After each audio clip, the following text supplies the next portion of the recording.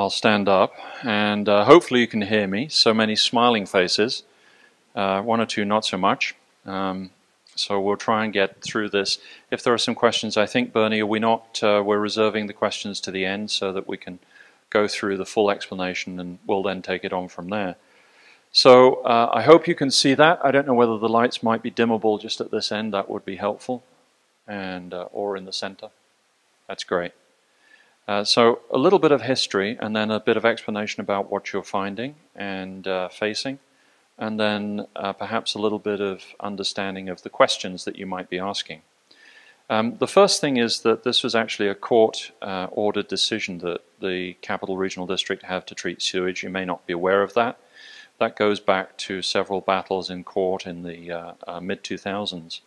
Uh, that resulted in June 2007 in the Path Forward, which was uh, put together by CRD, and it proposed about a $1.2 uh, billion estimated cost for a project, which I think about five months later or so on they estimated at $780 million. So that was quite a change from this 1.2 to the $780 million. But the thing to bear in mind is that that's the capital cost. That's not necessarily the operating cost. So it's a bit like your mortgage, but not necessarily how you eat.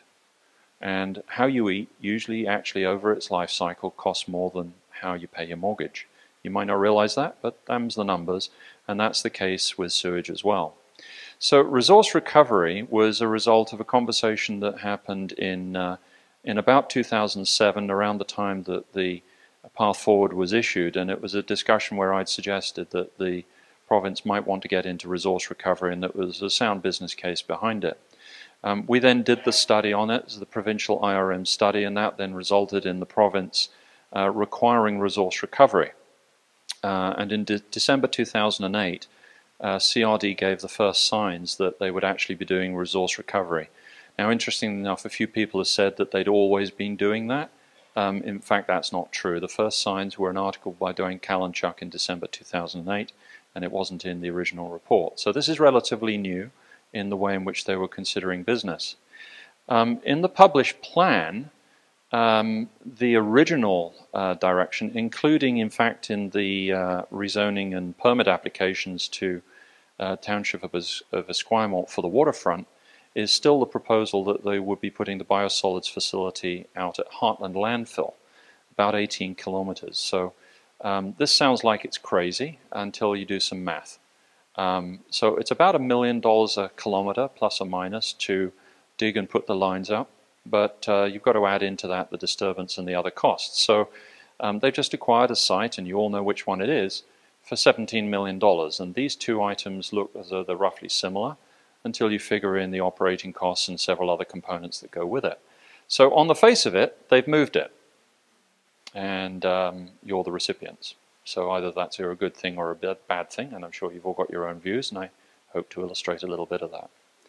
So in terms of what this is, this is the actual uh, map that was put in the in our resource recovery uh, document. It's a simplified diagram. That's the actual document that we published in uh, 2008, although it was started in 2007. And it's important for those people who haven't really understood the issue um, that treatment happens um, at uh, the waterfront, um, but it's actually biosolids that is due to happen around the corner. Um, and so just to simplify this so that you understand what's going on, uh, what that biosolids center is going to receive is sludge, which is processed from the sewage treatment plant that's then pumped in essentially a water-based slurry, about 5% solids, 95% liquids, plus or minus. Uh, they go between 2 and 7%. So roughly that's what they have to do in order to get it to the biosolids plant, and then it's treated there. So what does that treatment look like, and what does it include? Well, it might also include um, wet organic waste. What's wet organic waste here? Anybody have dinner tonight and think about their kitchen garbage because that's your wet organic waste. When you peel that cabbage or lettuce or you do anything like that, that's the wet organic waste. Right now, the proposals are that you put it into composting. Uh, that can be challenging, or you can put it into the uh, anaerobic digester, which is in the biosolids facility. I'm going to show you some pictures of what these look like so you've got a good idea of what they are and I'm going to compare the pictures of what they look like in actual life in this province with what the diagram is of what they're proposing so that you can see that they are very similar. Right, so this is CRD's own explanation of this, and I hope you can tell me what that looks like and how it's explained, because um, I find it a little confusing. So let me be basic about this if I can. You've got some sludge that comes in, which is kind of a little dark slurry. It's got sewage in it, and it's got dead bugs, basically. The, anaerob the digesters in the sewage treatment plant consume that, and they convert it, and then they die off, and they go into the slurry. So that would get piped up to the biosolids facility, where the water needs to be taken out. So you have what's called a dewatering process and it then goes into something called an anaerobic digester. Now they can use other methods, but if you think of anaerobic digesters, very basically as a very large tin in which they have bugs. And the bugs eat the sewage, and the bugs pass wind. And then the wind is methane. And then they capture the methane, and they upgrade the methane, and they do things with it. Like you do if you've got a natural gas stove or you've got a natural gas fireplace.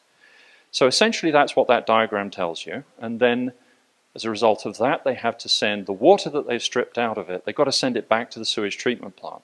So you thought it was one set of pipes coming here, it's not, it's two. One out, one back.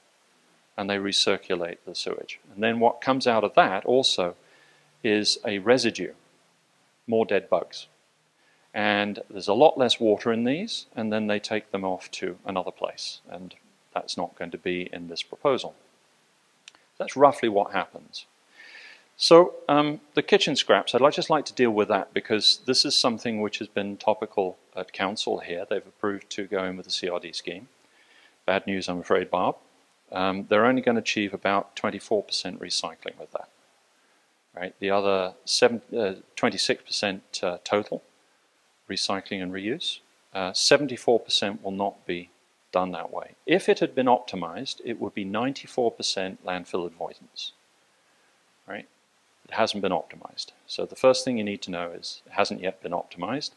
And also, if the biosolids facility is going to receive this uh, wet waste from your kitchen, then it's probably going to arrive in a truck. And don't forget, uh, there are other ways of doing this. So there's composting out in the Saanich Peninsula that's currently going on and in other locations too. The evidence in BC hasn't been too successful with that. A lot of these places go bankrupt, they fail, or they're in the process of doing so. And so the question is, what's going to happen to that then?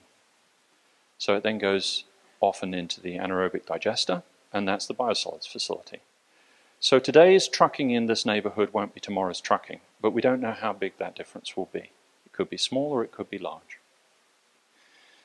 In terms of site choice, um, uh, Bernie knows very well because he and I used to work together, but um, I've got a dim and distant past acquiring sites for provincial um, programs.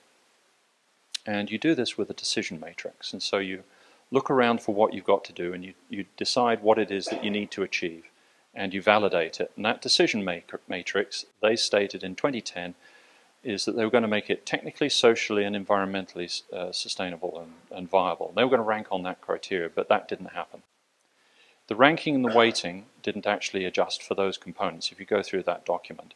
And part of the reason for that is they found it very difficult to find sites. And so they ended up with the site that you've got. Now, the reason that this is important is because the ranking matrix becomes important if what they're proposing in your community isn't a good choice. And that's essentially what a number of the people in this room are probably saying. This isn't a good choice. So the, the problem is that maybe the matrix didn't work. Okay, so I'm going to go straight into the questions because that's going to flesh out what this looks like. So those pictures up there are what it looks like. So the um, what you've got essentially is a, a number of bits of plant that process the sludge as it comes in. And then they have, if you see those sort of dome-shaped things, they look like very large donuts with icing on the top. Um, those are uh, where they store the gas, the methane gas. All right, now so um, what comes in is a sludge, and as I said, it's treated sewage solids, right? So it's been treated somewhere else, dead bacteria, and it comes in and it's sealed. Uh, the thing is that in the biosolids facility, they have operations and management, and they also have emergency vents and other things like that. So sometimes they let that gas out, either at different stages of the process, and that creates an odor. Right? So the In terms of what the biosolids facility is, it, it dewaters some of this stuff and uh, it processes it. Um, and in terms of how long it takes, uh, sewage in today is going to take around 40 days to process through. So here's, here's the thing to think about. Can Victoria stop going to the bathroom for 40 days if it goes wrong? No. So they're going to have to store it for 40 days if it goes deeply wrong. The good news is it's fairly rare that they go deeply wrong. Most of the time it's just underperforming. So you build that into your model and, and that's what will happen. So it includes all kinds of things. It may include electricity generation and so on. What will it look like? Well, those are the pictures. Better thing is to look at the pictures, I'm going to show you some more in, on the following screen. Um, it depends on what they decide to put in it, and that hasn't yet been made clear, and look forward to seeing what CRD say they're going to put in it. So these two diagrams are really good. Um, the one at the top is the actual diagram of what they were proposing at Hartland Landfill. So if you notice the donuts, those are the four items. They look very similar. And then you've got a piece of plant equipment on the right-hand side of it, and that's roughly what it looks like. And so if you imagine it in this community, it looks a little bit like an industrial plant. So probably what you're going to get is an industrial plant. It's going to look a little bit like that. Does it look obnoxious? That depends on whether you like industrial plants, but that's roughly what it's going to look like. And in case you wonder what that really is, that at the bottom is Annacis Island. And you'll notice that it looks very similar. So in terms of what are the normal impacts, well, most of the time these things operate well. They're very well known. They're a totally acceptable solution. But most times they're not put in residential areas. They're put in industrial areas separately to the rest. We'll come on to the reasons why in a minute. There is increased truck traffic. They are visible, but are they that problematic? Well, they can be screened and they can be made to look attractive. There's different treatments that could be used to actually make them look quite good. Um, can you hide them? No, you're probably going to smell them.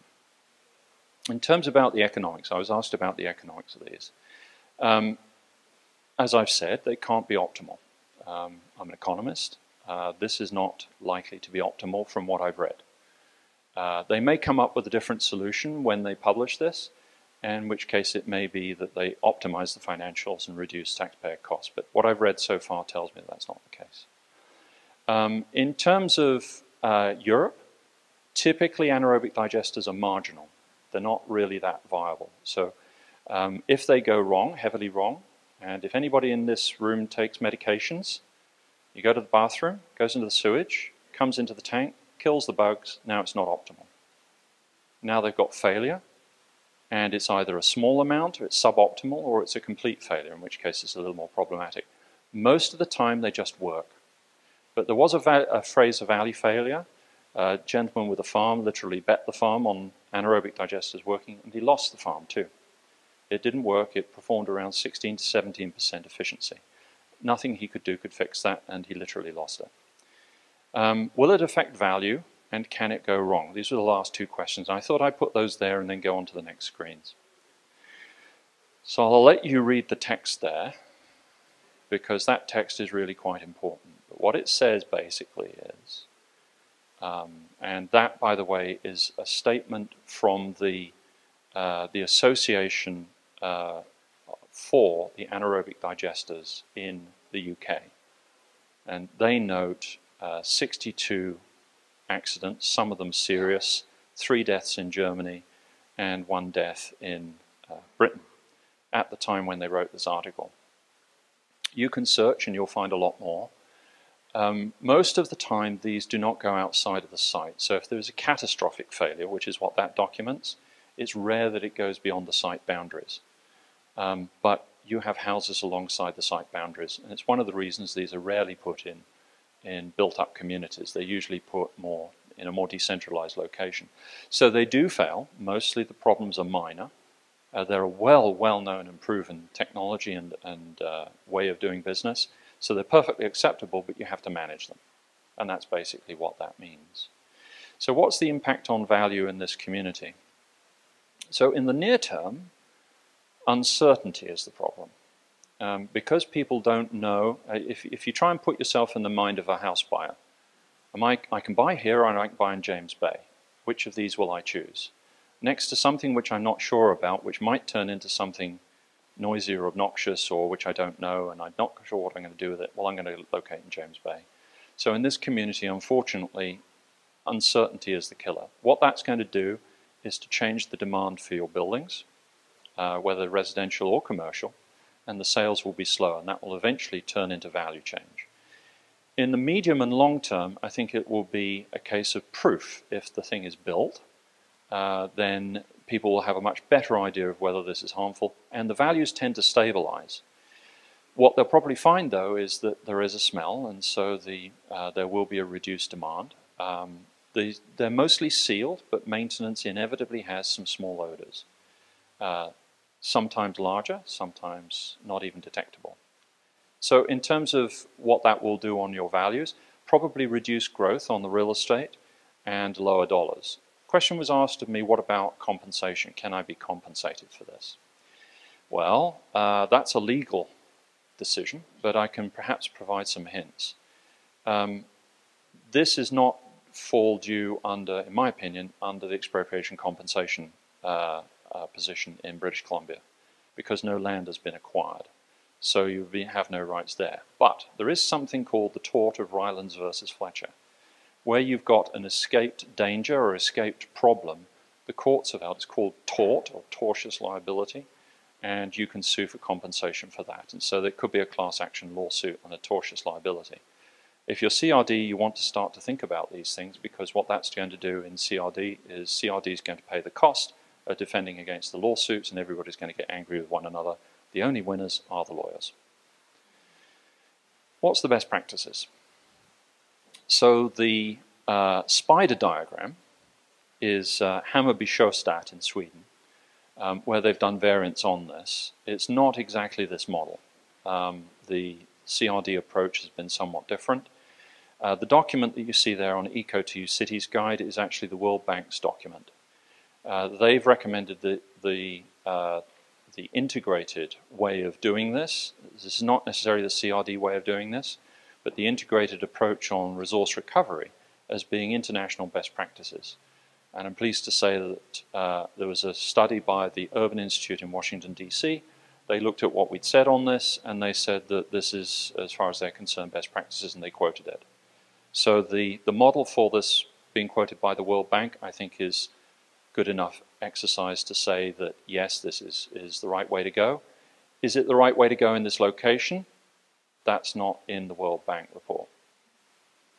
And so I, will end up with however you want to deal with the questions, but there's a few pieces up there that you might want to think about. So one of the questions raised is kind of, okay, well, I don't want this here. It, it needs to be somewhere else. What should that be? So that picture up there is of Dockside Green. And if you like that beautiful creek and the nice expensive housing looking over it, that's a nice creek, except that that is actually the sewage treatment plant. So for those of you who have not been down to Dockside Green, the answer is that that is actually the solution. You go with smaller and localized, and although the engineers will say that that increases the cost, in fact, the cost that's actually being paid in actual evidence at Dockside Green is less than the higher end of costs being proposed for the system which CRD is implementing. That's the first thing. But the second thing is that the sewage treatment level proposed by CRD is secondary, which has already been overcome in other areas of the world as, as insufficient. And they've gone to tertiary disinfected, which is what you see at Dockside Green. So when you do that, if you imagine Oak Bay doing this and having a nice creek with plants and uh, walkways alongside it going into Bowker Creek, could easily do this and add to their community. Now you wouldn't have a pipe going all the way out to Macaulay, McLoughlin, up into your biosolids center. Why? Because it all gets diverted and reused locally, and you avoid all those pumping and treatment and processing costs because they're all done locally. You don't get to that conclusion unless you do a full financial analysis. When you do that analysis, you find out that the environmental results are considerably better. So actually, this region has what the UN itself has designated as one of the most leading edge projects around. And although people like to criticize Dockside Green, this particular plant is actually a very good example of how to get it right. The other do document on the right there is sort of the smoking gun. Surprised the media haven't picked up a little bit on this. But what that is, is an agenda where a year ago, um, it's a public document, and that document said uh, 12 months ago, almost exactly, um, that uh, $20,000 should be spent on trying to get a business case to understand what the economics of this should be. Now, right now, my math tells me that they spent nearly $50 million so far, but they don't have a $20,000 business case. Now, so I'm not sure what else is right about this because in that document they omit 48% of the debt and they only look at 13 years of the life cycle. And that document has been there for two years now. So to the best of my knowledge, I think there's some challenges here, if I can put it that way. I could be less restrained, but the media are going to have to leave and we'll turn off the cameras. This is not appropriate. I'm a former government director designated from Treasury Board. This is not appropriate. This is not how the province works. This is not how business works. Sorry to say it, but this is incorrect. And right there is a better solution. So I'm terribly sorry that you're living the experience. I would not have chosen this, and I advocated against it. Thank you.